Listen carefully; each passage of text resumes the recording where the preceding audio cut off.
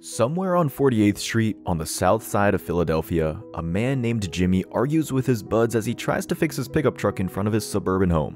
One of their friends, Dave, passes by and offers his advice, which only adds to Jimmy's frustrations. What about the catalytic converter? You see what year this truck is, Dave? It's practically a freaking antique. It doesn't have a catalytic converter. Suddenly, they hear an unfamiliar voice offer another opinion from nowhere. Of course, this just annoys Jimmy some more. But Dave and the other men around the truck look at this newcomer, and all they can do is tell Jimmy that maybe he really should listen to what he just said. It's the fuel line. Great, more help. Um, Jimmy, maybe you oughta. And just what makes you so sure it's the freaking fuel line? Jimmy finally takes his eyes away from his vehicle to see that none other than the Man of Steel is standing in front of them. Trust me, I'm sure. And in what seems like a matter of seconds, the entire neighborhood have swarmed in front of Jimmy's house, each of them excited to catch a glimpse of the world's greatest superhero. Jimmy's just as slack-jawed seeing the big blue Boy Scout in the flesh, and he and his friends watch the Kryptonian, funnily enough, simply walk away after wishing him luck with his truck. Media men rush towards Kal-El as he tries to peacefully do his best Forrest Gump impression, all the while answering their questions as best he could. Everyone thinks there's something wrong with Superman. After all, why walk when he could simply fly to wherever he wanted to go? One of them, an abrasive reporter, shoves a mic in front of Soup's face and starts accusing him. I'll tell you what's going on. I think you lost your powers. No. I don't think you can fly. I can. For this moment, I simply choose not to. Then I simply choose to call you a liar. I don't lie. The pushy newsman won't let up, so to prove his point, he swishes up to the sky with the ruse reporter in tow and lands him safely back moments after. Vindicated, Superman continues his trek, leaving everyone around him with the same question What's up with Superman? The last son of Krypton continues his hike around the streets of Philadelphia when his wife, Pulitzer Prize winning journalist, approaches him. I got your call, but I figured I'd still come out to take a look for myself. You're really going to do this? Yes. For how long? I don't know yet. Maybe until I run out of road. Even Lois, the person closest to Kal, doesn't understand what's on his mind. Concerned, she pries and asks her husband if anything's wrong, to which the Man of Steel reassures her that there isn't. Of course, knowing Clark, Lois lets him go as he continues his journey on foot, while everyone else does their best to get to the bottom of Soup's unusual quest. A couple of hours pass and Superman has found himself inside a local diner. So, um, what'll you have? Well, that's the problem. I'd like a Philly cheesesteak sandwich, but I may have to go with a small salad. I don't have a lot of cash on me. Never use it much. The waitress tells him that he doesn't have to pay. He is Superman after all. But Clark insists. So he offers to work for his meal and he ends up cleaning the diner storage room in exchange for a right old Philly cheesesteak.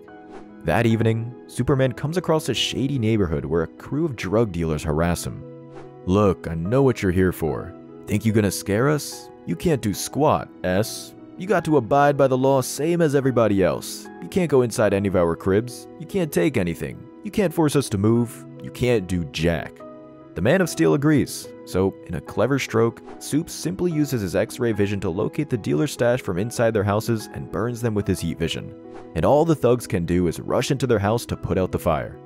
A kid who saw all this talks to Superman and tells him that the hoodlums will just move to a different neighborhood once he's gone, to which the Man of Steel replies, Yes, but they won't be here anymore, and that's a step in the right direction.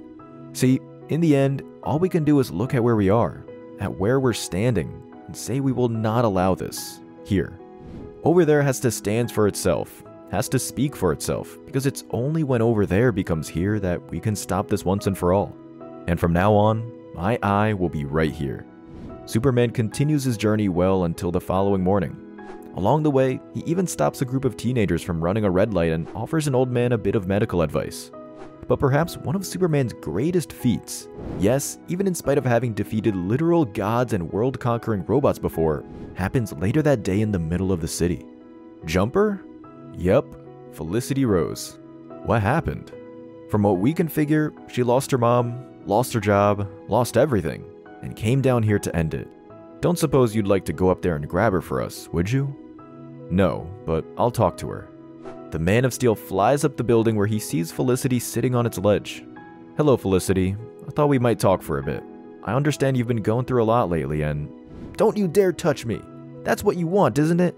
Wait until I drop my guard and then you grab me and take me back down by force. Because you can. Because you're stronger than me. Because you know I can't stop you. Somebody said when you give your word, you never break it. Is it true? Is it? Yes. Then I want your word. I want your promise that you won't try to take me down by force, and that if I jump, if I choose to jump because it's my choice, you won't stop me. If you do that, I'll talk to you. Kal knows the conundrum in his hands, but as we'd expect from the world's greatest superhero, he puts his faith in the girl and agrees. I give you my word. I won't stop you, and I won't take you back down against your will. After I buried my mom, I stood there after everybody else had left and I thought, is this it? I mean, is this all there is? Working in a cubicle six days a week until I'm too old to do it anymore. Then I die? Is that it? Is that what we're here for?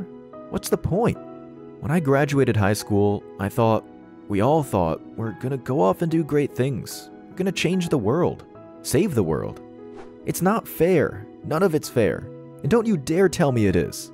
Superman might have the power to literally turn back time or carry the world on his back, but let's not forget, at his core, the Man of Steel embodies the best of what humanity has to offer. I won't, because you're right, it's not fair. John Lennon is dead and Muammar Gaddafi is still alive. JFK is dead and Castro is still alive. Gandhi is dead, but Manson keeps hanging in there. It's not fair, but it's not unfair either. It just is. That's it. That's the best you can do. It's neither fair nor unfair. It just is. Because that's the truth. All I know is that we have to try. That's what life is.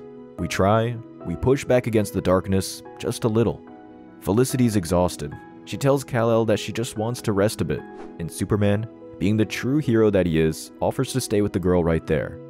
Daytime gives way to dusk, and dusk makes way for the night. I don't know. I feel like I don't know anything anymore. I don't know what to do. Can I make a suggestion? If you honestly believe, in your heart of hearts, that you will never, ever have another happy day, then step out into the air. I'll keep my promise. I won't stop you.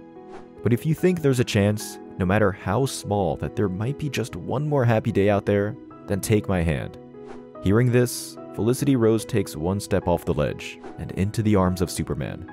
And if that doesn't encapsulate what the last son of Krypton is all about, we don't know what will.